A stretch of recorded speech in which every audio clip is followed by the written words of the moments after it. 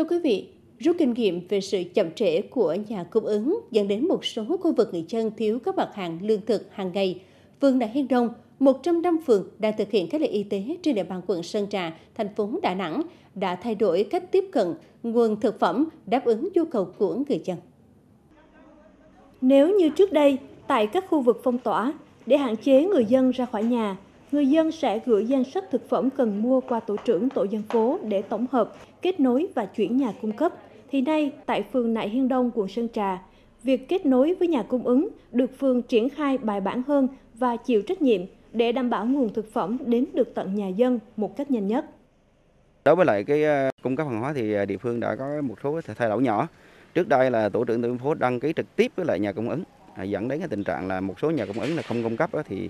địa phương sẽ bị bị động. Đến nay thì à, phường đã yêu cầu là tổ trưởng tổ dân phố đặt hàng tại cái cán bộ mà phụ trách đứng điểm của tổ dân phố và tổng hợp để phường ký hợp đồng với lại cái đơn vị mà cung ứng hàng hóa. Thì bước đầu là phường đang tổng hợp và đã ký kết thì những cái đơn hàng này sẽ trong ngày mai ngày kia thì à, sẽ bắt đầu uh, triển khai thực hiện uh, giao hàng đến dân.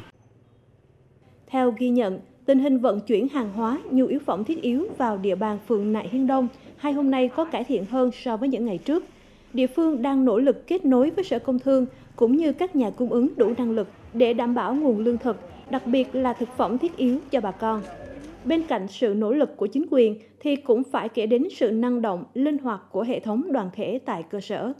Chúng tôi tiến hành à, đặt hàng qua các hình thức là viết phiếu, bà con viết phiếu đi chợ, chị em trong tổ hậu cần tổng hợp gửi đến cái nhà cung cấp thực phẩm. Bên cạnh đó, nhằm bảo đảm một cách tuyệt đối an toàn cho việc đặt hàng thì chúng tôi à, triển khai ứng dụng công nghệ thông tin vào việc đặt hàng. Chúng tôi đã có một phần hệ mềm đặt hàng qua mạng và người dân chỉ cần ở nhà và tương tác qua hệ thống công nghệ thông tin là sẽ đến à, tập hợp đơn và sẽ chuyển đến nhà cung cấp.